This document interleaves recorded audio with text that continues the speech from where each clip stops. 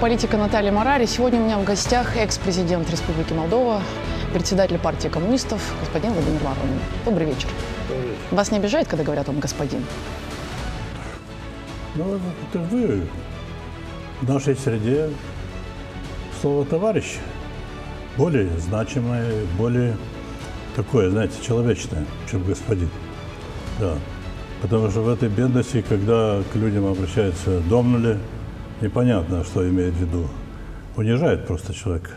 Но я хочу сказать, что я долго к вам, к вам добирался. Долго, полтора года. Да. Давно вы у нас Ну, не и были. вот опять Соскучились попал. по нам? Опять попал неудачно. Почему? А как раз кто нас сегодня будет смотреть? Чемпионат мира по футболу? Ну, вы мне извините, когда чемпионат мира, давайте вообще Ну, я всем думаю, государствам мы э, сможем, да, э, э, расходиться, правительством расходиться, потому что никто ничем не занимается, все смотрят футбол. выступать, чем э, ребята на сборной. А вы за кого болеете? А? Вы за кого болеете? За хороший футбол. За хороший красивый. футбол? Да. Ну, вообще по нам соскучились? Как? По нам соскучились? Давно у нас вы не были. Ну, э, соскучился по откровенному, серьезному, ответственному разговору, по серьезной дискуссии. Это правда. Господин Воронин, я вот пыталась сейчас вспомнить за последние полтора года, куда вас приглашали. Вас ведь на самом деле, кроме эм, еще двух телеканалов, я, по крайней мере, вас больше нигде не видела. Может быть, максимум трех телеканалов. А вас два главных медиахолдинга страны приглашают в свои эфиры? Нет. Э, вето не только на меня, на всех моих товарищей по партии, по фракции наложено вето. Мы не имеем приглашения ни от каналов, э, пр- принадлежащих Демпартии, этого холдингу, ни от каналов э, социалистов. И самое интересное, что нас не приглашают на государственный канал, финансируемый всей страной, и нами в том числе, Молдова-1. Когда вы там последний раз были? Ой, не вспомню. А когда последний раз вас приглашали? Да не приглашаю, потому что если приглашали, мы бы ходили. Если не я, то члены нашей команды. А вам вообще не обидно? Ну, ладно, э, канал Молдова УН это друг- другое дело, а все-таки каналы господина Плохотнюка и каналы господина Дадона. Вам не обидно, что ваши два таких политических отпрыска, они повернулись к вам спиной? И даже медийно не, не Ну, оказывает я вам не сейчас знаю, поддержку. Правильно ли употребляю слово «обидно»? Я не знаю, в по- политике, в политике действует интерес, а не дружба какая-то. То есть вы их, в принципе, понимаете? И Дадона, и Плохотнюка. Нет, э, я понимаю, но не разделяю их позицию, что именно так можно поступать с теми, которые сегодня в оппозиции. Не только со мной, а с многими другими. Речь идет не только о том, что нас коммунисты не приглашают. И других партий, находящихся в оппозиции, тоже вы не увидите. А вы в свое время, когда были у власти, вы не так же поступали, господин Воронин? Я вообще не занимался, кто на каком экране выступает или не выступает. Ради бога.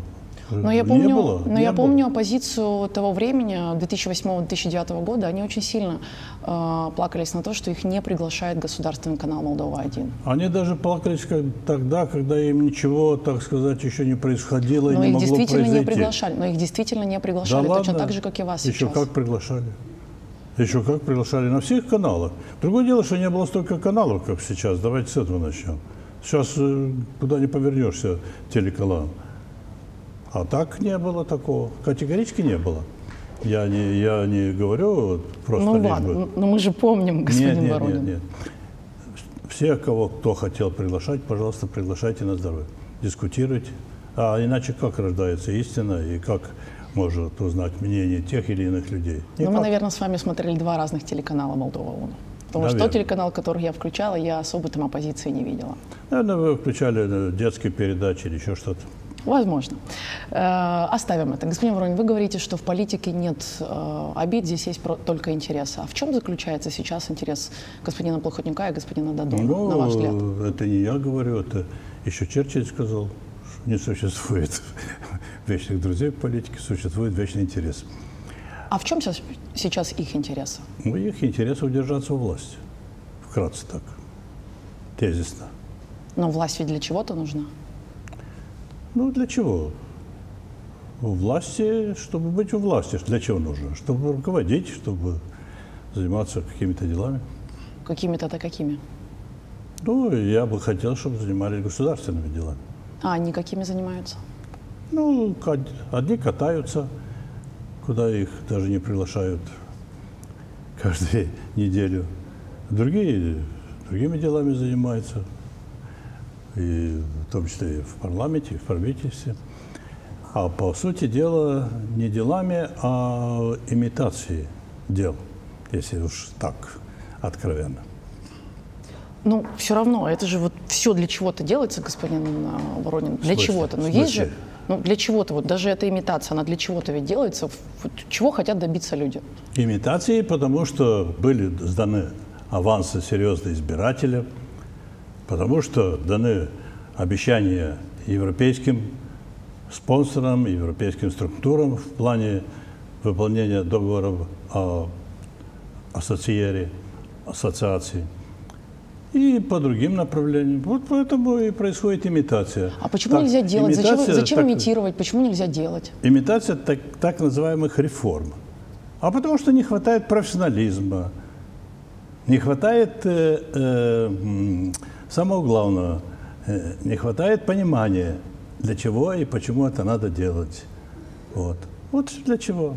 А почему? Э, Если говорить, например, об этом деятеле, который катается все время туда-сюда, Вы нашего президента имеете в виду? да, за вашего президента, который... А он не ваш президент? Нет, потому что он избран, я повторяю, неконституционно. Изменяли Конституцию пять человек, которые не имели права это делать.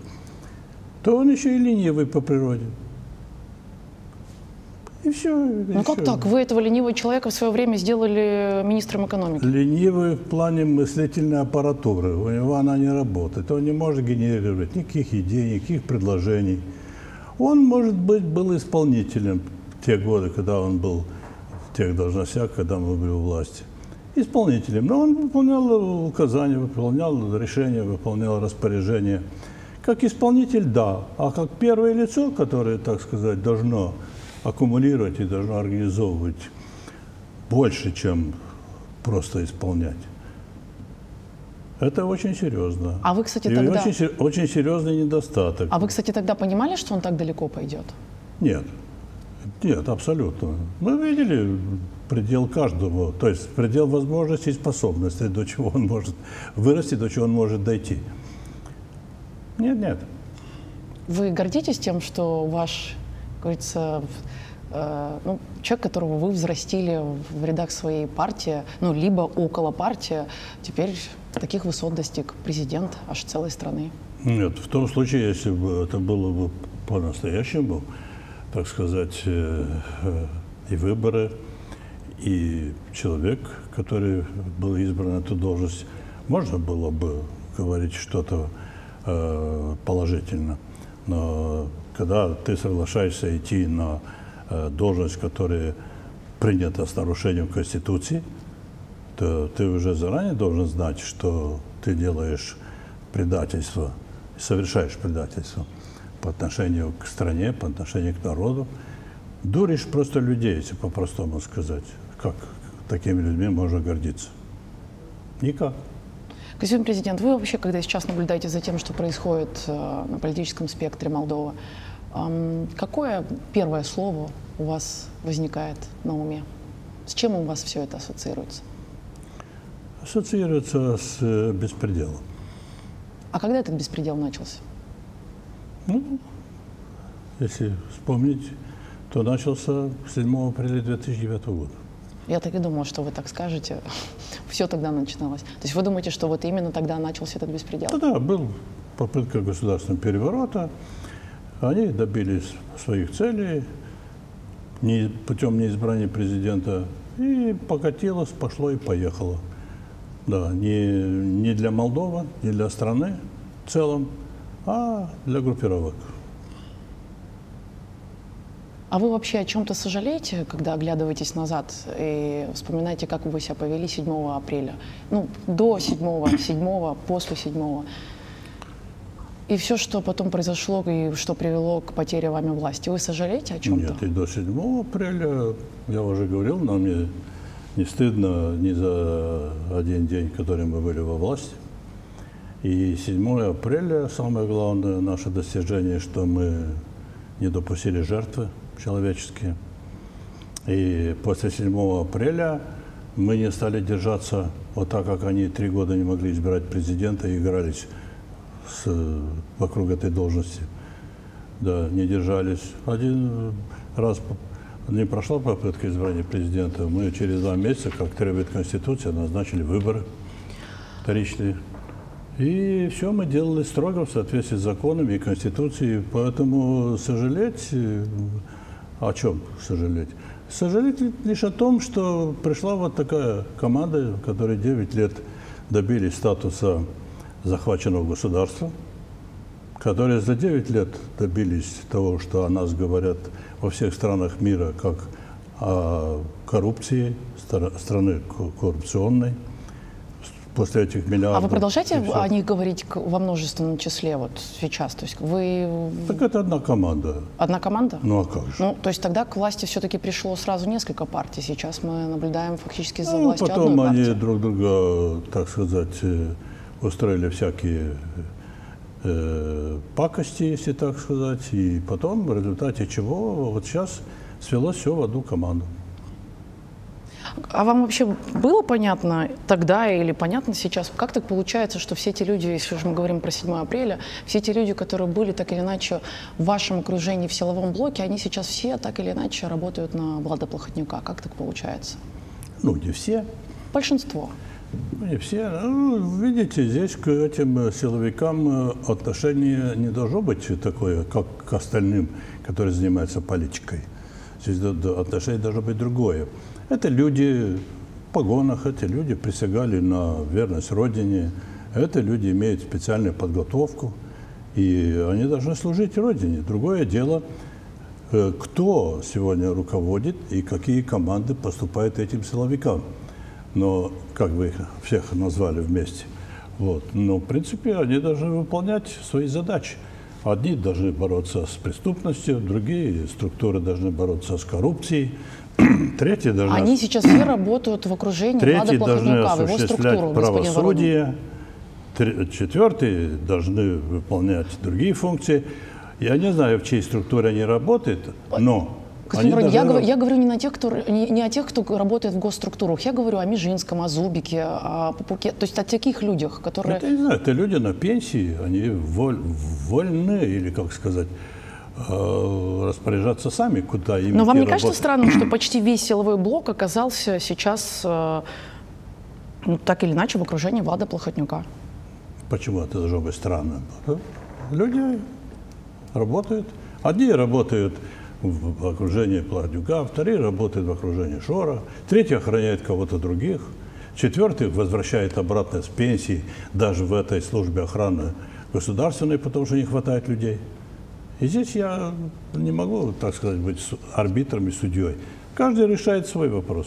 Кстати, о Шоре, поскольку вы о нем упомянули, он вчера вышел на одном из телеканалов с интервью, где рассказал нам о том, э, кто все-таки стоит за кражей миллиардов. Мы услышали имена Платона, Филата, ЦОП, э, и не услышали главного имени, ну, того, которое многие хотят услышать. На ваш взгляд, вообще его появление в ту же самую неделю, когда вышли и глава антикоррупционной прокуратуры, э, представитель антикоррупционной прокуратуры, и глава Национального антикоррупционного центра, и глава генеральный, э, генпрокурор представили стратегию по возвращению украденного миллиарда. Это все случайно, что он в, этот, в эту же неделю появляется и рассказывает ну, я не нам смотрел, свою Я сказал, что я смотрел футбол, переживал за мексиканцев. Вот. А если это совпадает, то в контексте э, той же стратегии, видимо, в развитии, вернее, этой стратегии он добавил. Я не читал пока что. Я смотрел только кратко, что вот так и так на каком-то сайте, но не успел сегодня прочесть. Но вы ведь хорошо очень знаете Илона Шора. На ваш взгляд, все-таки его... Да я их всех хорошо знаю. Да вы всех их знаете, господин Воронин. Общаете. Ну как же так? Они все ходили, стояли в очереди. Был, они стояли в очереди. был депутатом, был министром, был что? Они стояли в очереди в вашей приемной. Они все ходили, вот, ходили к вам на поклон. Вот уж кто никогда, никогда в кабинете президента не был, не грешите, пожалуйста. Это Илон Шор. Это потому что он был совсем Шор. маленький тогда. Он а? был тогда совсем маленький. Ну, видите, сами в его возрасте. отвечайте на свои Но вопросы. я абсолютно уверена, что он ходил за вами Куда? и искал встречу с вами. Я уверена. Никуда. Я его отца хорошо знал и очень уважал Мирона Шор. Для вас вообще понятна сейчас ситуация вокруг Илона Шора? Человека приговорили э, к семи годам с половиной за кражу миллиарда. Человек спокойно избирается мэром, человек спокойно ездит по всей стране, открывает социальные магазины на деньги которую мы не знаем откуда. Никто не проверяет, откуда эти деньги. Он ездит по всей стране, показывает свой фильм, рассказывает, кто на самом деле украл миллиард. Вам вообще не кажется, на основании его показаний заводятся почти все главные политические э, дела последних лет? Вам как вы вообще объясняете ситуацию Мне вокруг уже давно ничего не кажется. Вот. Что это? Как это можно объяснить? Ну так э, э почему я должен акцентировать свое внимание на Илоне Шоре, когда Такое происходит со многими другими, аналогично. С кем? Да, с кем хотите. Приведите мне еще один пример такого же человека, как Илон Шор в нашей стране. Да, сколько угодно их Кто? таких. Сейчас вот так сразу. Я имею в виду не фамилии, я имею в виду процессы, которые продолжаются в судебных инстанциях годами и ничем не заканчиваются. Я об этом сейчас хочу сказать, а не о конкретных фамилиях. Но на ваш взгляд, все равно Шор какую роль играет вообще в, в, вот, в основании нынешней власти? Это не для меня вопрос. Я... Но вы же человек мудрый, опытный. Ну откуда я знаю, какую роль кто играет? Я не знаю, откуда какую роль играет. Ну, вы что ну смотрите, на основании его показаний... Партии, смотрите, партии на... сидим и проводим расследование? Ну, смотрите, на основании его показаний все-таки были посажены главные противники того, кто, как вы говорите, сейчас управляет страной. Сидит Платон, сидит Филат, э, еще одно дело на Платона, еще, еще кучу дел в судебных инстанциях. Все главные оппоненты нейтрализованы. Все. Чистое поле. И что здесь? И вы не видите никакой роли Илона Шора в этом? Нет, я не вижу никакой роли э, в персоналиях, э, лишь потому, что я хочу увидеть конечный результат. А результат должен состоять в том, кто и когда вернет этот миллиард. А сколько каких и фамилий, и имена персоналей посадили, это второй вопрос, это дело органов. Вы, вы, вы что думаете, что мы в партии сидим, проводим расследование или что? Или занимается и каждый день Шорами, Плохотнюками, Дадонами. Да ради бога. А вы, как гражданин этой страны, вы верите в объективность, объективность расследования, которое проводит Генеральная прокуратура и Центр по борьбе с коррупцией? Ну, конечно, нет, потому что 4 года эта свадьба продолжается, так называемые поиски миллиарда. Или имитация этого поиска. Конечно, нет. Как я могу? Если это можно было решить сразу, по горячим следам. Откуда? А кто верит в это? Вообще многие разочаровались, вот с кем мы беседуем, я имею в виду с избирателем, с народом. Да, люди говорят, да, уже больше никто ничего не найдет, никто ничего не вернет. А уже есть, в парламенте поторопились проголосовать ведь закон о том, что каждый из нас, налогоплательщику, будет возвращать этот миллиард. Ну, это все понятно. Но, господин Воронин, вы как человек с большим, богатым опытом э, партстроительства, госстроительства, управления страной, нахождения в оппозиции, вот через вас прошла вся современная история Молдовы. Вам как кажется, мы вообще когда-нибудь узнаем, кто украл миллиард, миллиард как украл вообще, украл ли, и, и что, за все, что за этим всем стояло? Что там с, резервными, э, с резервами Нацбанка, куда ушли эти деньги и так далее? Мы многое ничего не можем узнать. До сих пор не можем узнать, кто организовал 7 апреля. Официально, юридически не поставлены акценты на события 7 апреля. Многие вещи мы не можем узнать. И причину этих предательств в парламенте, и много-много чего происходит у нас в стране, очень, так сказать, завуалировано. Потом время проходит, это все забывается, потому что возникают новые ситуации, новые события. То есть вы хотите сказать, что мы никогда не узнаем, кто стоит за 7 апреля, или мы никогда не Нет, узнаем, я как хочу, украли я хочу миллиард? сказать, Я хочу сказать это не для э, тех, которые у власти. Я хочу сказать это для народа, для избирателей, что надо думать о том, кому мы доверяем власть. И пока не сменится нормальная, не придет нормальная власть, я сейчас отвечаю на ваш вопрос – мы не узнаем ничего. Господин Воронин, но давайте так, а что к этим думаете? людям, к этим людям, к которым Нет, вы а сейчас что, обращаетесь, к этим людям, к которым вы сейчас обращаетесь, э, в том числе приходят такие люди, как Илон Шор с социальными магазинами. Этим людям не на что жить, они некоторые живут на грани, э, на грани просто выживания. выживания. и им приходит, к ним приходит Илон Шор, дает им карточку для своего, для своего социального магазина. Они могут наконец-то выживать, а потом, спустя несколько месяцев, к ним приходят и просят проголосовать за Илона Шора. Они же все пойдут и проголосуют. Как мы можем тогда когда-нибудь получить власть, ну, которая... Э, я не думаю, что это будет именно так, как вы это, трагедизируете этот вопрос. Я думаю, что людей уже достаточно много раз обманывали и карточками, и обещаниями, и предвыборными разными гарантиями, даже те, которые сегодня у власти. И потом на второй день все забыто, ничего не выполняется, ничего не делается. Я думаю, что уже люди много-много понимают. А то, что им дают, они просто именно потому, что вот довели их до такого нищенского состояния, они просто берут. А как голосовать, это уже они пусть решают. Если хотят так вот в качестве нищих ходили и все время ждали подачек, то это их вопрос. Мы будем объяснять, что происходит и как происходит, если начнется выборная кампания, имеет в виду. Но мы и сейчас проводим эту агитационную работу. Вот, объясняем людям, кто виновен во всех этих проблемах.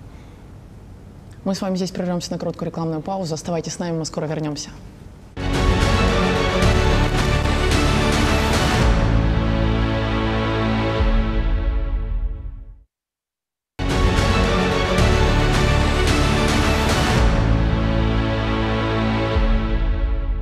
Мы вернулись в студию, продолжаем говорить с Владимиром Ворониным, гостем нашей студии сегодня. Господин Воронин, у вас в субботу прошло, э, прошел пленум ЦК партия.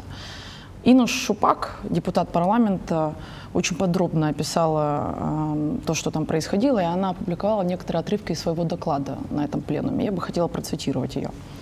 Захватчикам хватило денег на покупку предателя, но не хватило ума для обеспечения функциональной повседневной работы законодательного органа. Посудите сами, с момента утверждения мандатов депутатов этого созыва и по сегодняшний день было проведено всего 150 пленарных заседаний парламента вместо установленных по регламенту 282. То есть даже чисто математически этот парламент работает наполовину, выполняя лишь 53% из, из общего объема работы. А, а, секундочку. А, не забываем, товарищи, что в конце 2015 года задача перед предателями стояла более обширная, чем это казалось на первый взгляд. На известной пресс-конференции они объявили о выходе из парламентской фракции ПКРМ, но не из партии. Они пытались собрать большинство членов ЦК ПКРМ с целью проведения пленума с единственным вопросом на повестке дня – произвести переворот в партии коммунистов. Эту задачу им поставил главный молдавский олигарх. Но они недооценили моральное качество настоящих коммунистов, вас, уважаемые товарищи. Заговор провалился. Господин Воронин, именно об этом заговоре, именно о том, что у главного олигарха цель захватить партию, говорили те коммунисты, которых вы исключили из партии в 2014 году. Помните, была такая группировка? Март Качук, Юрий Мунтяну, ну, Гриша Петренко. Абзац получился очень длинный, и здесь несколько понятий сразу включено, и как работает парламент, и как предатели – ушли, что замышлялось и так далее. Но, получается, они были три, правы, те, три которые момента. уходили? Нет, не было правы ни тогда, ни сейчас. Не об этом речь. Речь о том, что мы решили, что вот уже недолго осталось работать нынешнему составу парламента, а рассмотреть на пленуме Центрального комитета, потому что список кандидатов формирует э, выдвигает пленум Центрального комитета в соответствии с уставом нашей партии, посмотреть отчет о работе нашей фракции. И получился очень впечатлительный отчет. Он есть на сайтах наших. Надо читать его, кто хочет, кто посмотреть, чем занималась фракция. Я в завершении даже сказал тот тезис, который когда-то, выражение, которое применялся вору, что берут не числом, а умением – Шесть человек сделали больше, чем почти весь остальной парламент. Вот. Это очень важно людям знать, что можно даже в этих условиях добиваться очень серьезных результатов в парламентской деятельности, в парламентской борьбе. Вот. Насчет, но э, все-таки, насчет но все-таки, но все-таки, да. Насчет тезиса предательства, как здесь вы говорите, все-таки здесь, Ткачук, Мунтяну, Да не Петренко, надо мне вспоминать эти фамилии. Они Все. были правы, когда говорили на, о захвате? На, на всегда эти фамилии, оставьте их в покое. Было, было, что было, было. Была дана оценка тоже пленума Центрального комитета, и мы поставили точку. Я не хочу ворошить это все старое. Я другое хочу сказать. С момента создания нашей партии, которая вот сейчас 22 октября будет 25 лет, попытки постоянно уничтожить нас. Все. И когда мы были во власти, когда мы были до этого в оппозиции, вот сейчас сколько мы в оппозиции. Лишь потому, что мы носим это название – коммунистическая партия. Эти попытки не прекращаются. И с этими предателями, без этих предателей, все такое. И изнутри, и извне. Постоянно идут, продолжаются эти попытки. Постоянно. Только потому, что их раздражает, только потому, что их раздражает слово коммунистическое. Только потому, хватает. что их раздражает слово только, коммунистический да, в названии только партии. потому раздражает слово коммунистическое. Нам предлагали много раз. Наз... Переименуйте название. Вы профессиональная команда, вы достойные люди, вы умеете руководить. И будете работать, это самое, будьте все. Ну, знаете, а я сказал, поменять? родители не выбирают. Не будем ничего менять. Так и будем. Кто предлагал поменять?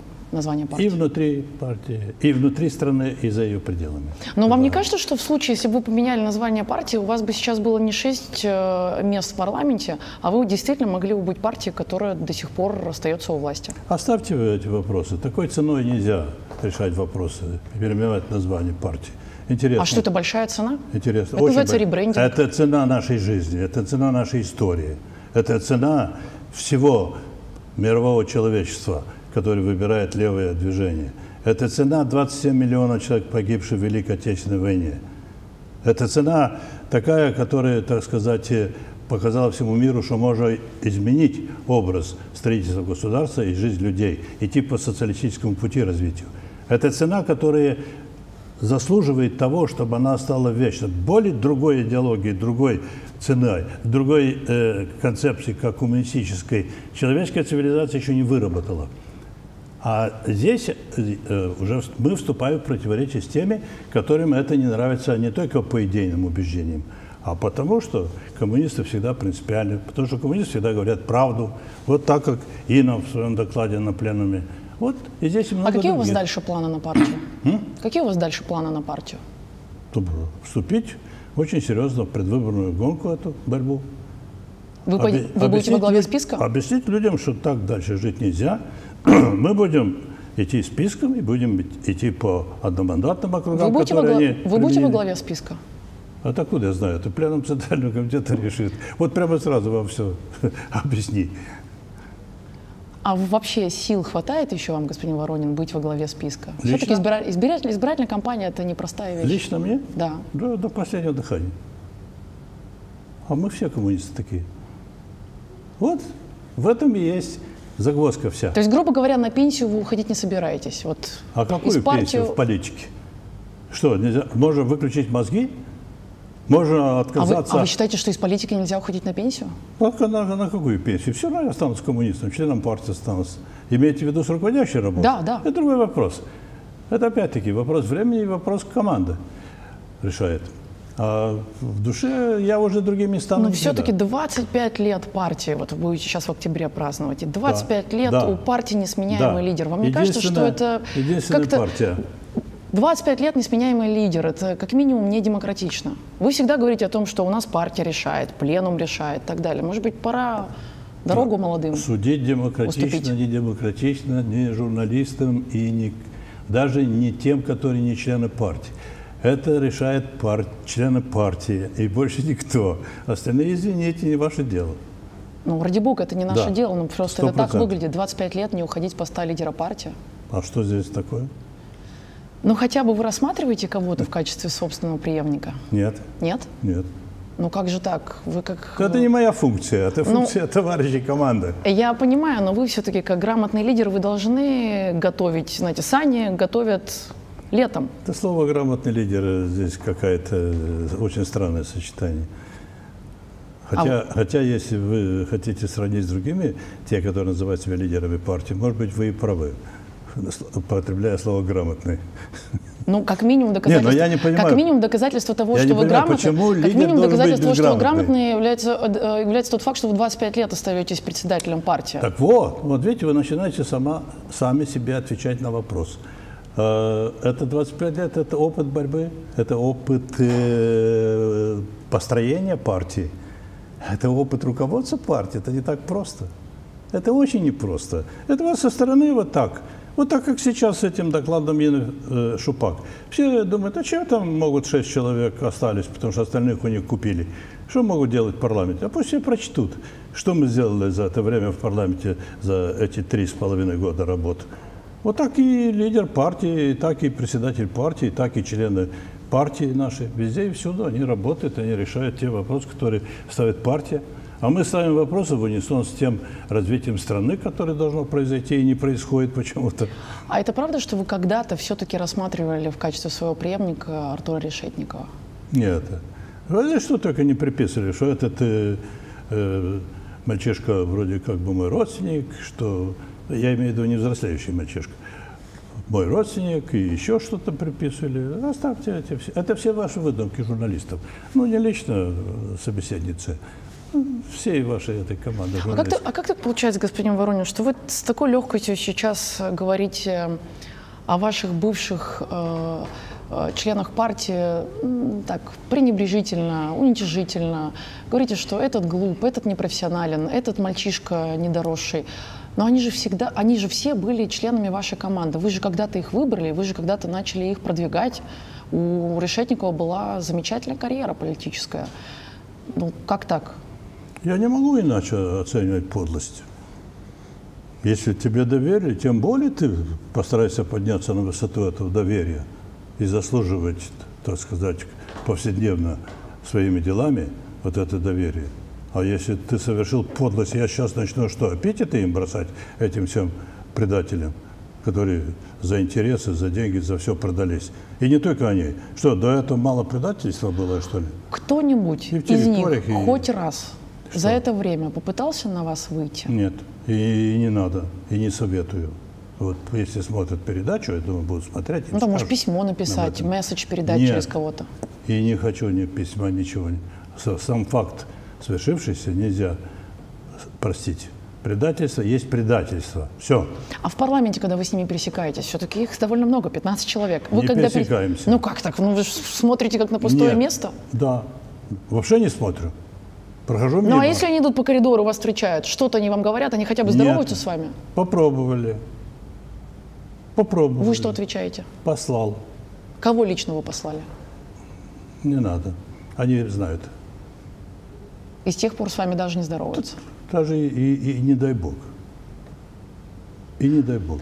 Инна Шупак в своем докладе, который она представила в субботу, писала о них. «Эм, «Всегда и, везде, всегда и везде мы говорим о реальных причинах феномена политического предательства. Речь идет о суммах от 200 до 500 тысяч евро, которые варьируются в зависимости от функции в партии, откуда перекупают. Плюс ежемесячные конверты с, конкрет, э, с несколькими тысячами евро. Что говорить, если только на покупку 15 предателей из ПКРМ Владу Плохотнику, как говорят, пришлось потратить около 5, 5 э, миллионов евро. А вы когда-нибудь думали о том, чтобы пойти в Генпрокуратуру, написать заявление, все-таки это покупка людей, это акт коррупции, заявить? Вы же ответственный политик. Мы внесли проект закона в 2015 году, а, закон о политической коррупции. И что он лежал два года, закон, и не был включен в повестку дня. Мы его обновили сейчас, этот проект закона, и опять он лежит в парламенте об этой политической коррупции. И ничего, никакого движения. Они что, сами, это что, они собаки, что ли, э, будут сами ловить свой хвост? Что они сами себя будут ловить? Здрасте. Значит, они нужны были для чего-то. Ну, смотрите, может быть, вы используете другие рычаги. То есть? Вот Зумбрян, нынешний глава Национального антикоррупционного комитета, был э, в системе еще во времена коммунистов. Может быть, к нему он обратитесь. Он не в системе был. Он был э, основоположником Центра по борьбе вот. с коррупцией. Так, может быть, вы к нему обратитесь. Пусть он, у них есть право законодательной инициативы. Могут обратиться к парламенту, продвинуть ваш законопроект. Через Центр по борьбе с коррупцией? Ну да, от имени Центра. Значит, от имени коммунистов исходит инициатива, не голосуют. я не могу быть таким наивным. Извините. А как так получается, что человек, на которого вы поставили, сделали ставку тогда? Вы сами говорите, что Зумбрям он был одним из основоположников Центра по борьбе с коррупцией. Сейчас он спокойно становится главой Центра как вы говорите, в плохотниковской системе. Самое, и, самое... И, э, как бы... Я не сказал так, как вы формулируете, главой центр плохотниковской системы. Он э, руководит центром государственным, а не чьим-то. Я до сих пор как, что вам не показалось странным, остаюсь о нем хорошим мнением. Серьезно? Да. А какого вы мнения о работе Центра национального антикоррупционного? Плохого. А как так о главе хорошего мнения, а в центре в целом плохого? А еще Как это есть, возможно? и- есть такие, э, есть такие ситуации, когда надо этим работникам дать возможность работать. Осуществлять свои полномочия. Что у вас забегали глаза? Подождите, Думаете, ну, а- что спросить? да? Нет, нет, подождите. Как бы, то, есть Зумбря- то есть Зубряну э, по отдельности хорош, Профессионал. профессионал, Очень хороший. но не дают возможности работать. То ему, всему центру. А что сидит тогда Где? в центре? Это вы же пригласите на передачу. Мы с удовольствием пригласим. Но все-таки, на ваш взгляд, человек, который, как вы говорите, был основоположником этого центра, и у него... Ну что вы все хотите, чтобы у всех были характеры коммунистов, что ли? Нет? Нет. Все, мы сказали нет. Все. И не торгуемся ни с чем и никем.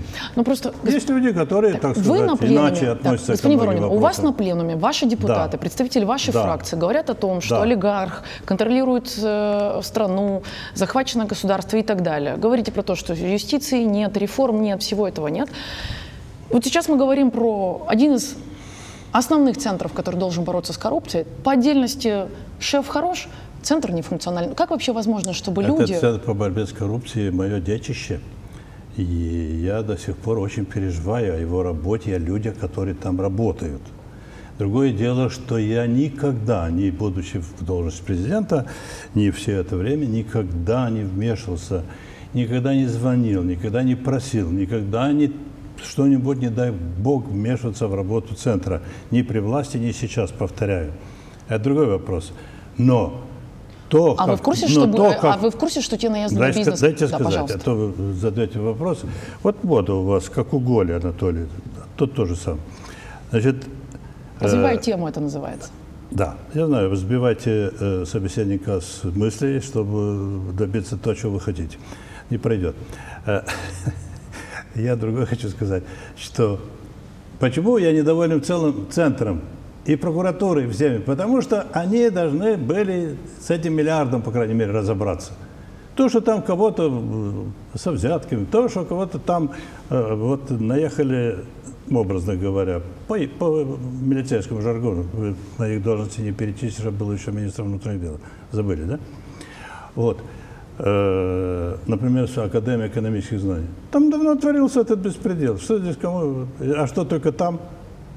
и многие другие вещи. Я это поддерживаю и так далее. Но это по сравнению с миллиардом, это мало. Это, это надо делать, потому что коррупция большая не возникает сразу сверху. Ну вот они на этой неделе, на прошлой неделе представили стратегию по возврату миллиарда. Вышли три главы. Ну, Адриана Бицешор, господин Зумбряну, Эдуард Харунжин вышли, представили стратегию. Вы недовольны? недоволен. Почему? Да? Надо ответить. Конечно, конечно, надо. Я уже сам себе задаю вопрос. Хорошо, вот это мне очень нравится. Значит, э, недоволен, потому что это надо было делать сразу, а не через 4 года. Но я когда увидел эту схему, я предполагал, что так оно и будет. Я когда увидел эту схему, я теперь не знаю, как они доберутся до тех, которые стоят, сидят за этими схемами, за этой схемой. Куда это все расползлось, этот миллиард. А вообще, на ваш взгляд, те структуры, которые занимаются сейчас этим расследованием, они ведь, как все эти люди, которые представляют сейчас стратегию, они работали в этих структурах, в том числе тогда, когда все это происходило. На ваш взгляд, можно ли доверять расследованию, которым занимаются люди, которые находились в позициях, в должностях э, в то самое время, когда все это происходило? Когда, к примеру, Центр по борьбе с коррупцией, Национальный антикоррупционный э, центр мог совершенно спокойно предотвратить это еще тогда, потому что у него есть этот специальный софт, который позволяет мониторить все выходы и входы денежных средств в банковскую систему и так далее. Можно ли доверять вообще? Ну, здесь есть, э, есть проблема. Здесь есть проблема. Э, В зависимости от того, э, что сейчас будет делаться по этой стратегии, если так называемой.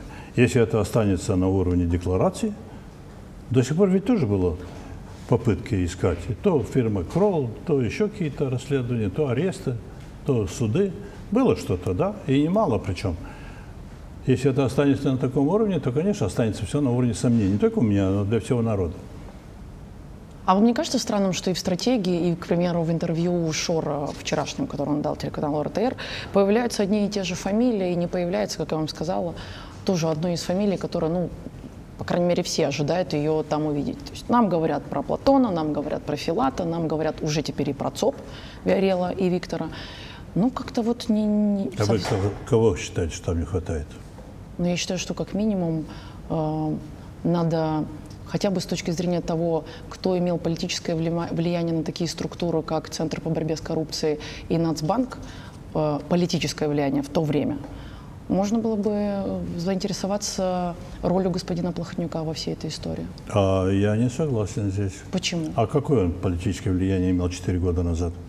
А вы считаете, что он не имел никакого политического влияния, допустим, на э, господина Драгуцана, главу Нацбанка, или на генерального прокурора? Нет? Или на главу Центра по борьбе с коррупцией, ну, вы господина понимаете, Петрова? вот вы со мной беседуете как с работником этих органов, а я занимаюсь э, партией, занимаюсь парламентской деятельностью, то есть в обобщенном виде занимаюсь политикой. Но вы же бывший милиционер, бывших да, не бывает. Вы да. понимаете логику этих органов? Да, я, конечно, понимаю, э, но э, здесь нужно не только понимание, здесь нужно действие. Понимаете? Поэтому... Э, Драгуцану – это ставленник либеральной партии лично Гимпл. Он исчез, его нет. Вот да, вы правы, фамилию назвали очень четко. Его надо искать, его надо спросить, и если надо, привлечь к ответственности. Да, здесь я согласен. Кого еще? И всех остальных, кто причастны к этому. Понимаете, просто, как, вот, э... просто граждане имеют право задаваться вопросом, почему вообще во всей этой истории Нет, с кражей так. миллиарда не расследуется э, вовлеченность госинститутов? Потому давайте что когда так, мы смотрим на то, как где это произошло... Где эта стратегия? Я ее лично не читал до сегодняшнего дня. Ну, опубликована. Она, на, да, она, на, она на сайте появилась. Да, я начала ее читать. Э, И что? Ну, Довольно? Я промолчу. Довольно? Я промолчу. Ну вот. Я промолчу. У меня сразу же главный вопрос. Я вообще считаю, что пока Пока, я, пока, я считаю, пока, не будет, пока не будет проведена иллюстрация во всех органах, во всех органах э, правоохранительных и судебной системы, мы вообще не можем говорить Правильно. о независимом расследовании, Правильно. неважно, будь то кража миллиарда, Правильно. вообще о любом другом И даже если будут еще 99 стратегий разработано. Я хочу, чтобы... И вообще дело это не подлежит стратегии. Не стратегии надо, а план действий. Координированный план действий этих трех структур, и может быть даже мало. Здесь отсутствует такая служба А, которая есть у нас в стране, но они все забыли, их никто не вспоминает. Может, они так спрятались глубоко. Служба информационной служба безопасности? Информации, СИС, служба информации безопасности. И многие другие их надо привлечь к этой э, работе. А не стратегии писать. Это делается координированным планом, и с грифом «секретно».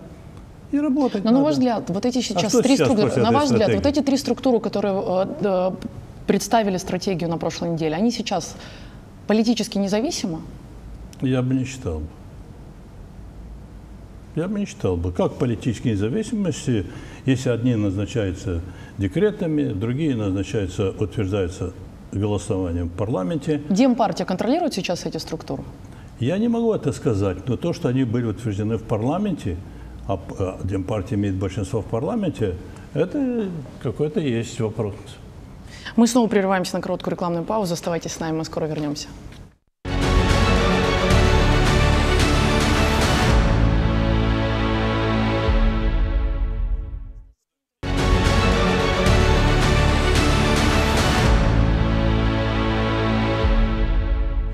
Мы вернулись в студию, продолжаем говорить с Владимиром Ворониным, председателем партии коммунистов. На ваш взгляд, почему так и не валидирует мандат э, избранного мэра Андрея Настасия? Вот уже две недели. Ну, тот же дурдом, что мы обсуждали до сих пор. Ну а зачем так играть на нервах? Значит, 14 июня 2015 года имели место местные выборы. Да. Сегодня у нас 18 июня. 2018 года. Остался ровно год до истечения мандата всех местных избранников. Так? Да.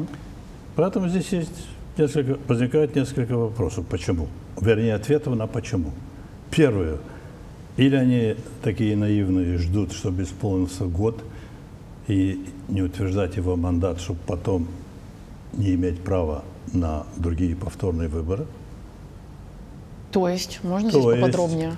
То есть, за год до выборов нельзя проводить другие выборы. И вот 21 июня будет год, после которого уже нельзя проводить выборы, следу... Э, нельзя проводить в Кишиневе выборы, потому что год остался до вы хотите, сказать, выборов. вы хотите сказать, что они могут пойти на невалидацию мандата Андрея Настасия? Я, не, я так не говорю, я объясняю, вы меня не об этом спросили, вы спросили о причинах. Я объясняю одну из причин. Вторая причина вообще абсурдная, что якобы социалисты обратились с какими-то протестами. Протесты принимаются в день голосования. Даются в эту окружную избирательную комиссию по выборам генпримара Кишинева а не на второй день. И протесты должны быть документированы. Должны быть видео, должны быть свидетели, должно быть что. Мало ли что на второй день кому приснится, что он обижен, что не выиграл выборы. Но вообще он Чубанов даже поздравил Андрея Анастасия в тот же так вечер тем, с победой. Так, так тем более. Или он фальшиво поздравил, или это самое, потом им сказали, что да зачем мы так спешим? А ну давайте мы развернем этот вопрос в обратную сторону. Ну хорошо, а вы ну, понимаете это, логику этого процесса? Не, ну, это, Зачем ну, тянуть? Зачем затягивать? Есть и третья причина, если интересует. Да. Третья причина, может быть, кому-то надо накачать мускулы этому Настасию. Перед очередными парламентскими выборами.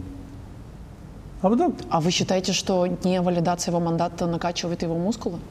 Нет, э, не, не валидация полная, а вот эта игра в невалидацию. Потому что я почему-то уверен, что все-таки ему завтра, послезавтра утвердят то, что он победил на выборах и признают его официально примаром Кишинева.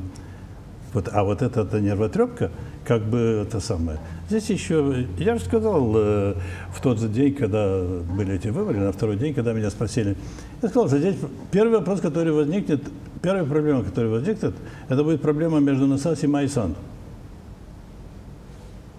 Теперь э, будет проблема уже, так сказать, самого Анастасия. А, а почему будет проблема? Потому что будет сложнее договориться? Ну, после этих скандалов с валидацией, с утверждением результата голосования, без утверждения результатов голосования, конечно, Настасья получает как бы приоритет по отношению к другим своим, так сказать, союзникам, которые его поддержали на эти местные выборы. Здесь такая игра какая-то затеяна. Но... А на ваш взгляд, власть вообще какую стратегию выберет по, по отношению к Андрею Настасьеву? Помните времена, когда в 2007 году мэром Кишнева был избран Дарин Киртуак? И после этого началась такая, началось такое двухлетнее противостояние а, между центральной властью и местной в Кишиневе. Вы опять нас упрекаете в том, что не было. Я не упрекаю, я констатирую констатируйте, констатировать надо объективно, истину. А вы считаете, что тогда не было противостояния между ну, мэром не, Дарином вы не Киртуак? мне ответить. Надо констатировать то, что мы не имели с кем работать. Потому что в Примарию пришел, как его назвать, не знаю, который ни в чем не разбирался. И он 10 лет ни в чем так и не, не, не стал разбираться, разрушил все, что можно разрушить. Этот Киртуак. Поэтому мы видели сразу, что мы не имеем с кем работать. Как работать с человеком, который ничего не понимает, ничего не знает, ничего не хочет, ничего. Вы что, не помните эти истории с ним, сколько раз случалось, что случалось и что было за все это время? Только кишиневцы слепые такие, э, котята, что голосуют три раза подряд за человека, который абсолютно не, не, не профессионал, абсолютно ничего, ни в чем не разбирается. За какой, это время можно было на ваш взгляд, выдрессировать сейчас, кого угодно. На ваш взгляд, какую сейчас стратегию выберет власть по отношению к Андрею Анастасию? Ну, я слушал на каком-то телеканале председателя парламента, господина Канду, и он сказал, что раз есть волеизъявление граждан, мы обязаны сотрудничать с теми, которыми, так сказать, оказано доверие народу. А вы верите Будь... всему, что говорит Адриан Канду? Ну, всему это трудно обобщать. Но слышали все, он по телевидению это говорил. Я был с другой стороны экрана, как ну, Господин Канду два года назад нам сказал, что ровно через год э, нам заживется хорошо. Как бы это тоже он на всю страну сказал. Но да, как-то не, заж... но как поколение... не... но как-то не зажилось хорошо. Э, нынешнее поколение людей будут жить при развитом капитализме. Да, не состоялось и не состоится. Но какие-то, видимо, тоже или, или перспектива какая-то в отношениях с Настасией. Я чувствую, что уважаемая моя собеседница этого добивается от меня. Или что-то еще наверняка вынудило Канду это сказать. А может быть, искренний человек сказал, почему нельзя верить? Господин Воронин, а у вашего сына Олега начались вообще проблемы э, по бизнесу вот последние годы? Или его оставляют в покое? А какие проблемы по бизнесу, если он не занимается бизнесом? Ну, все равно акционер одного из банков. Проблемы э, были э, и продолжаются у меня достаточно. Еще и у Олега должны быть проблемы. То есть его не трогают? Нет, конечно. За что его трогать? Проверили. Все. Ну, все проверили. Не трогает, но все проверили. Не знаю, может, продолжать еще что-то. Вот. Так же, как проверили всю мою деятельность за мои президентские годы. Все мои резолюции, все мои э, подписи на всех декретах и все остальное. Все мои награждения, все-все-все. Все проверили. Ну, и это правильно. Вот сейчас, может быть, есть еще один вариант по примарии. То есть в данном случае вы доверяете правоохранительным органам, когда Нет, они проверяют Олега Воронина? Здесь верить можно. Может быть, вот так я присоединюсь к тем, которые говорят, что взяли паузу, чтобы там что-то сжечь, что-то уничтожить в этой примарии. Я не знаю, что это может сжечь, что может уничтожить, потому что все это есть на компьютерных сайтах, на везде и всюду, документах, регистру и тому подобное. Но такой бред тоже. У нас все время что-то кто-то выдумывает. Я Сожалею, что я повторяю это, но другое я ничего не могу придумать. Я поняла. А вы можете нам рассказать, раскрыть скобки, как вообще происходила продажа бывшего офиса партии коммунистов, там, где сейчас находится у ну, нас... Ну, что я буду коммерческими там, тайнами где, разбрасываться? Там, где сейчас находится э, офис Демпартии. Ну, очень хорошо. Вот. Вы рады этому? А? Вы рады этому, что там Слушайте, сейчас ну, находится офис Демпартии? Рады, я не рады. Я рад, что я избавился от этого офиса. Вот это я рад. А почему не готовы открыть э, коммерческую тайну? Вы все-таки депутат парламента, обязаны ну, а декларировать. Как? Ну, ничего я не обязан. Я обязан в декларации писать все, что нужно. Вы я не обяз... готовы сейчас я поделиться с общественностью? Что? Вы не готовы сейчас поделиться с общественностью? Да я уже делился, что вы первые меня спрашиваете ну, об этом. повторите. Были пресс-конференции, были передачи, я об этом рассказывал, да, что вот сколько у нас процентов было в этом офисе. Вы что думаете, что мы были владельцами этого офиса? Мы имели одну пятую часть этого офиса. Остальное было не наше. Вот в чем дело. И ну хорошо, могли... за эту одну пятую часть вам достаточно заплатили? Недостаточно, а ровно столько, сколько мы потратили. Сколько стоило это, когда строилось здание, это одна пятая часть. И именно столько, и не больше, ни копейки больше. А чье это здание тогда, если вам только одна пятая часть? Строительная компания. А чьи эти дома, которые строятся, и сразу еще только колонны забили, а уже прода... Э, написано Севинда, апартаменты, продаются квартиры и так далее. Ну, э, господин Воронин, просто я, знаете, мне очень сложно представить ситуацию, при которой, к примеру, э, один из лидеров оппозиции Андрей, Андрей Настаси будет сажаться, садиться за стол переговоров с представителями э, Демпартии и обсуждать сделку по продаже той или иной недвижимости, либо Майю Санду. А вот в случае с вами, как так получается, что с одной стороны вы в оппозиции, и вы говорите, что этот режим ужасен, но вы с ними сотрудничаете тогда, когда дело доходит до э, сделок, по, сделок, до сделок по продаже. Ну вот сделка прода, по продаже Там мы не дем, демпартии продали здание, милые мои. Мы, э, нам заплатила свою квоту эта строительная организация. Мы ни с кем ничего, ни у кого других ничего не покупали и не продавали. Эта строительная организация заплатила нам эти деньги. А они, в свою очередь, видимо, получили, продали весь офис Демпартии. То есть вы, когда продавали, вы не знали, что это делается для Демпартии? Тут нам какое дело? Я 9 лет искал покупателя на эту долю. Потому что они нам все время предъявляли претензии. Давайте, давайте, давайте. Строители. Я поняла. Чтобы было ясно. Я поняла. Ну, то есть вам все-таки дали заработать, скажем так? Ничего мы не заработали. Мы потратили столько и вернулись на себе столько. Ни копейки больше мы не заработали. По балансовой стоимости, что у нас числилось в партии, как и израсходованные деньги, вот это все мы и получили назад. Все. Э, есть вопрос от вашего бывшего соратника по партии Григория Петренко. Я объявила на Фейсбуке. Он же откуда этот вопрос поступил? Из Баден-Бадена? Ну, я не знаю, откуда он поступил. Господин Петренко написал мне, увидев пост в Фейсбуке, о том, что вы сегодня приходите. А, было бы интересно спросить, в каких отношениях э, Владимир Николаевич находится с Илоном Шором. Последний раз их вместе можно было увидеть на концерте Кобзона, когда Шор и Воронин стояли рядом в первых рядах. На кого еще из молдавских политиков Шор написал донос, кроме Филата и Платона?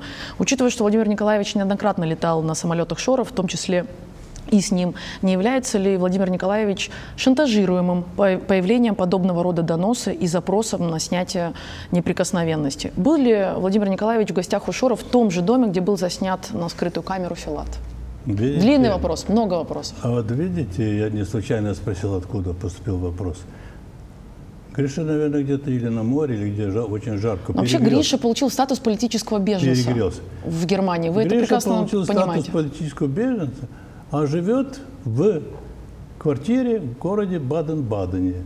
Если кто нас слышит и знает, что такое Баден-Баден и сколько стоит там квартира, то пусть просит Гришу, на какие шиши. Но вообще, далее. насколько я знаю, Баден-Баден – это немецкий город, нет? Да. А политическим э, беженцем какой страны стал? Не знаю, Европы. Э, стал господин Гражданин Петренко. Европы. Нет, ты обязан по программе находиться на территории а той страны, которая дает, тебе, которая тебе дает статус беженца. Это вы с Гришей выясняете. не, Это вот сейчас не самое главное. Ответьте значит, на вопрос, который он, значит, врет на вопросы, Гриша, которые он задал. Врет Гриша, не знаю, что это его заставляет. Видимо, злость на меня или на Шора. Вы никогда не летали на самолетах Илона Шора? И тем более Шором, и на самолетах Илона Шора.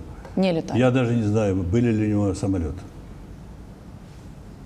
Тоже вот конкретно. А он предлагал вам, предлагал вам хотя бы когда-нибудь на, день на самолете? Нет, он предлагал вам хотя бы ну, хоть раз на самолете своем подвести куда-то, отвезти?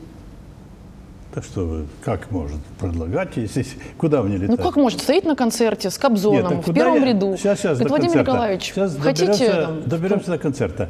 Куда мне летать? Что я, до Дон, что ли, лечу? Куда я лечу? Я лечу пассажирским рейсом обыкновенным, куда, если какие-то дела есть То есть у меня. Вы никогда личные, чартер, чартером личные. не летали? Нет, в последнее время я чартером не лечу. Я бы летал чартером, когда я был президентом. Все. А насчет концерта.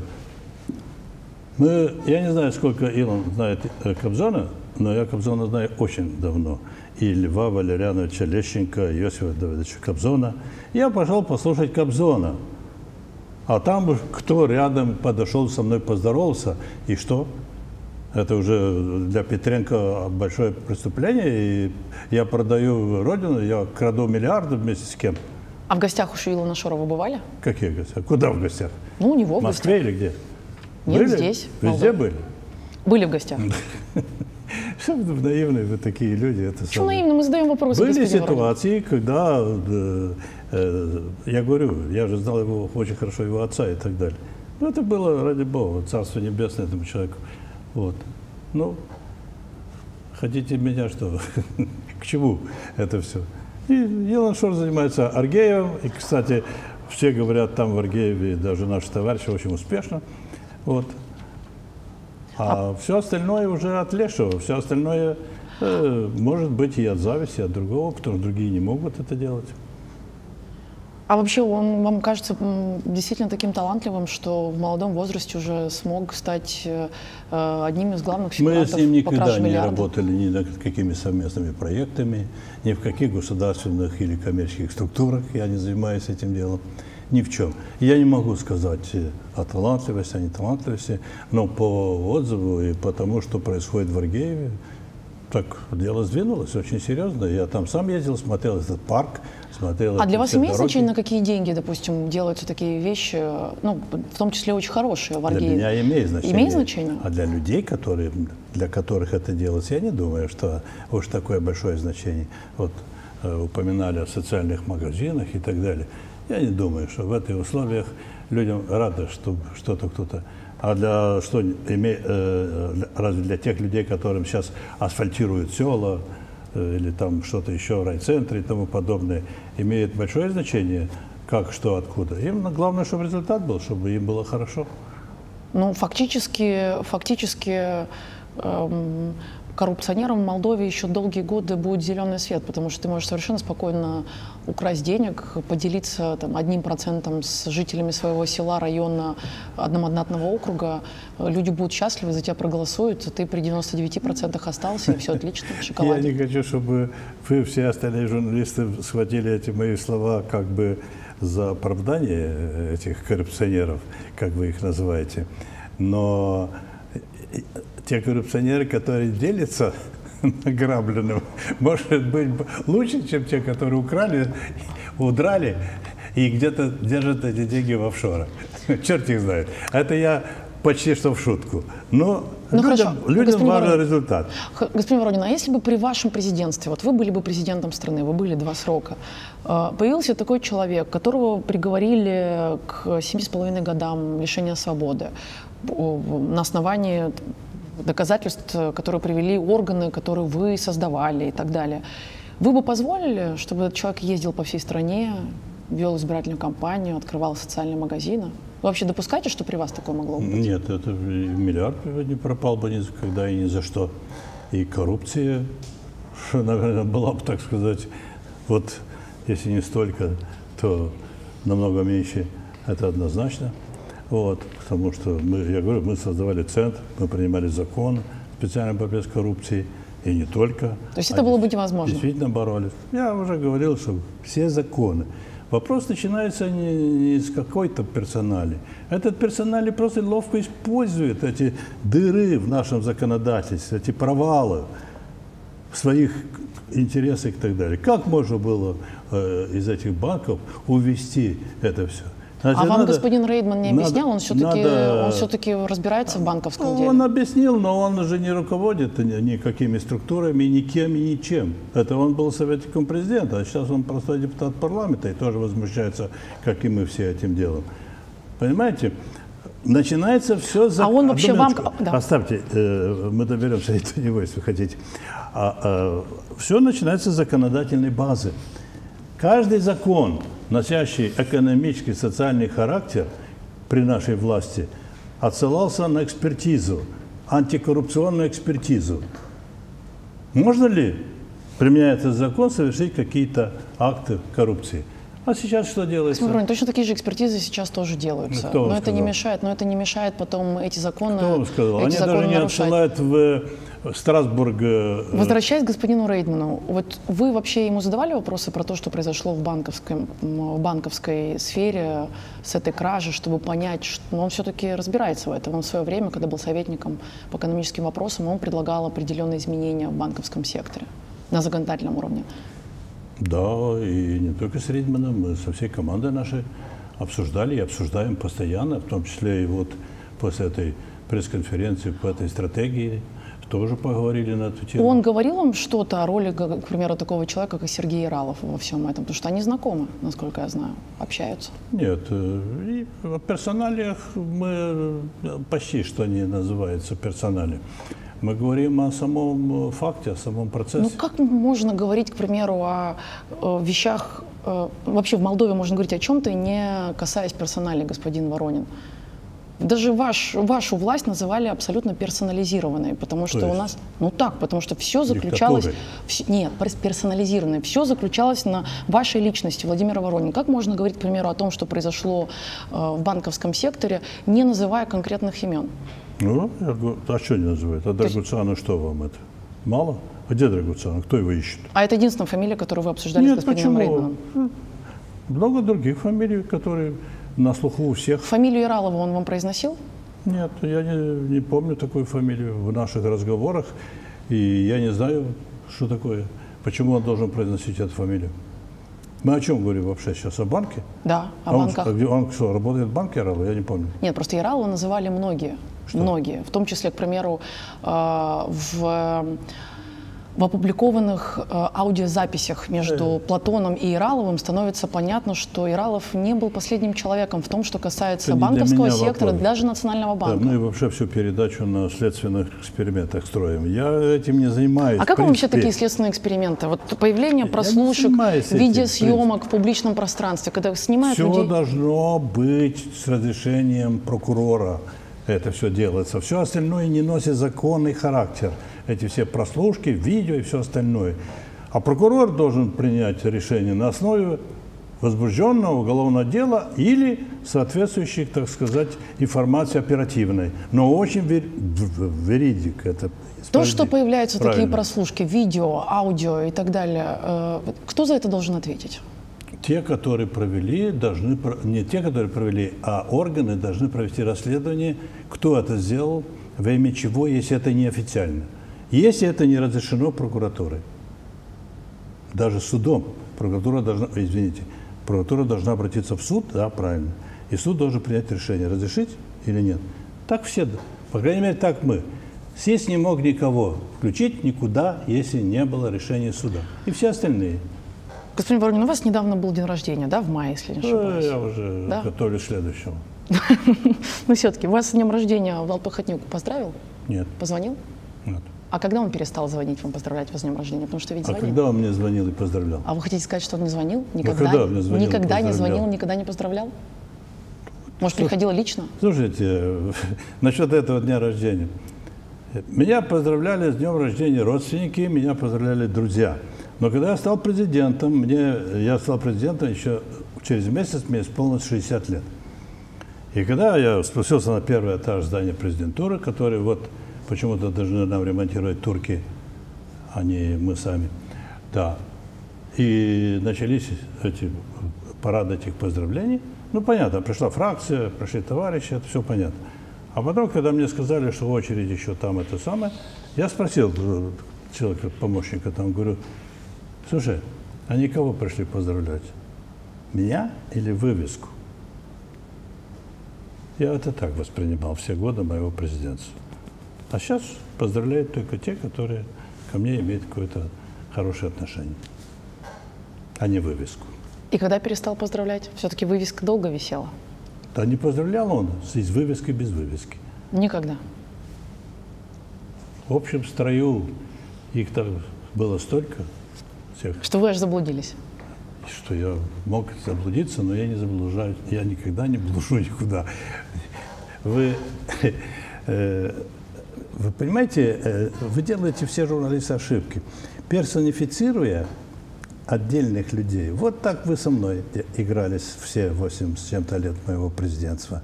Здесь ничего не шевелится в этой Молдове, если Воронин не разрешит. И э, вот так показывали пальцами и так далее вверх, что это сказал шеф.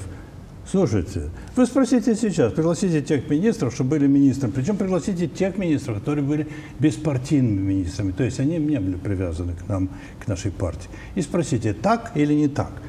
На одной из передач меня спросили, а правда вы дали указание, что в каждом кабинете дома правительства висели ваш портрет? Слушайте, ну это уже начинаются диагнозы. Извините. Не, совсем не так. Когда ты погружен в работу, когда ты занят делами вот так вот, и некогда поднять голову, э, всех этих э, ерунды, ерунды от всей никто не думает и никто не помнит об этом всем. То есть вы предлагаете не персонифицировать. Я, возможно, даже отчасти с вами соглашусь. Не, ну нельзя идеализировать кого-то что-то. Да, есть, а кто слушайте, говорит про идеализацию? Есть, есть правительство, а есть парламент, есть столько структур в стране. Все Хорошо, такое. давайте тогда конкретно. Вы Господин Воронов, вот давайте тогда не про персонализацию. Меня всю передачу давайте, Вот есть премьер-министр Павел Филипп и есть спикер парламента Адриан Канду. Да. На ваш взгляд, э, у кого больше э, силы слова, у кого больше э, рычагов власти в этой стране? У Павла Филиппа премьер-министра, у спикера парламента Адриана Канду или у Влада Плохотнюка, председателя Демпартии? У Канду. У Канду? Да. У Из Кан... них троих? У Адриана Канду. Из них троих у Канду? Да. Председатель парламента. Э, Республика Молдова в соответствии с Конституцией является парламентской страной. Вы сейчас серьезно? Серьезно, но я не сказал вторую часть.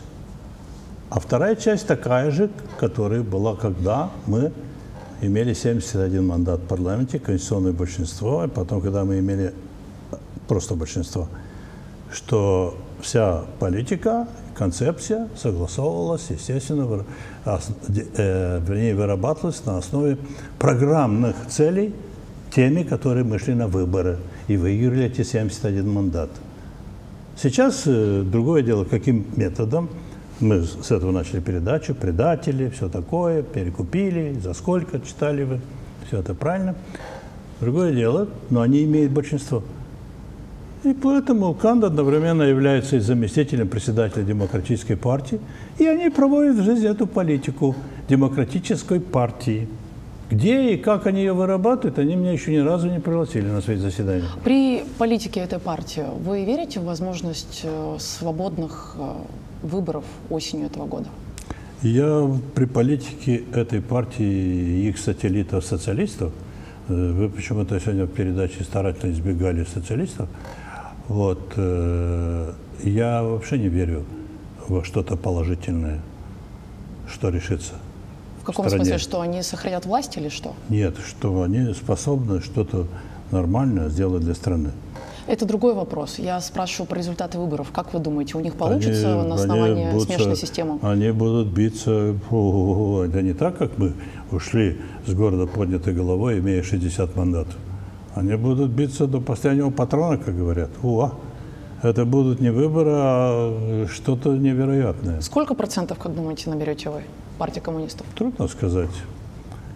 Трудно сказать, но э, мы будем... Э, Пройдете в парламент? Но это даже не обсуждается, потому что мы с 98 -го года в парламенте, э, причем почти всегда с большинством по сравнению с другими партиями, если не с абсолютным большинством. Вот. Но почему мне трудно сказать? Потому что изменение закона, вот, переход на эту номинальную систему, это меняет очень много если не, то, не то, что меняет, а очень много портит в организации выборной кампании. А вы вообще понимаете, каким образом, почему э, Демпартия делает такой подарок э, партии социалистов? Потому что наличие только одного тура, единственного тура, сильно играет им на руку. Это показали и президентские выборы 2016 года, это показали и выборы в Кишиневе. Нет, не понял. Особенно после того, что провалились демократы в Кишиневе и в Бельцах, я вообще не понял, почему демократы пошли на такую схему и изменили законодательство. Тогда они были уверены, что это в их пользу. Сейчас я не уверен. Так же, как я не уверен, не то, что не уверен, я вообще не верю в социологические исследования. Никогда не верил и не верю. И вот это показало, что но социологические исследования показывали одно, зачем они делают а результаты были другие совсем. Хорошо, но социалистам зачем они делают такой подарок? А это сейчас уже, получается, они против себя делают, а не социалистам подарок. И еще неизвестно, если у социалистов есть этот рейтинг. Это второй вопрос. А Может на ваш взгляд они... вообще, кстати, а? на ваш взгляд, кстати, господин Воронин, Игорь Дадон, насколько самостоятельная фигура вот, в том, что касается отношений с властью, с настоящей властью в нашей Ни в чем. Он не самостоятельный. Ну, что вы не видите, Канду его три раза по пять минут отстранял от должности, и, и он в это время где-то делал вид, что он решает что-то, катал, катался где-то опять. Вот. В чем он самостоятельный? А в он чем? почему это допускает? Почему он не, как-то не, не вызывает людей на протесты, как он обещал? Почему он это допускает? Он шантажируем, на ваш взгляд?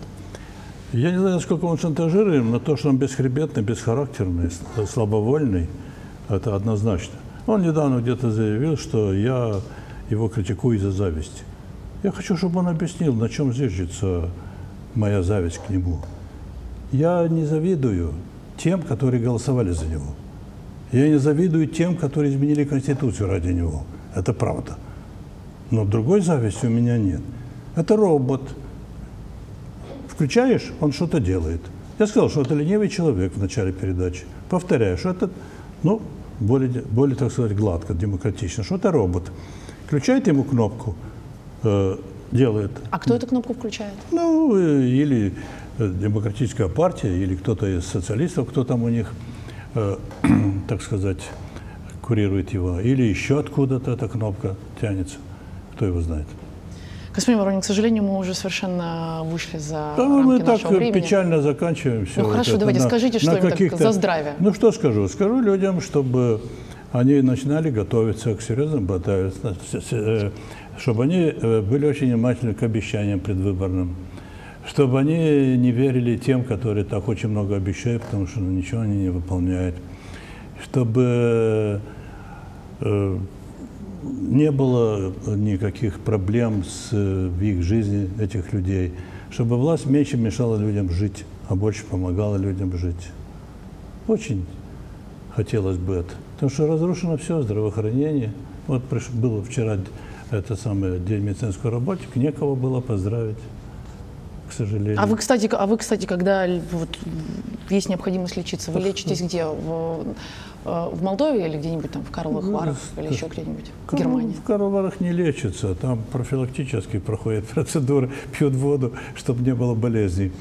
Вот, прицепили все за эти Карловары.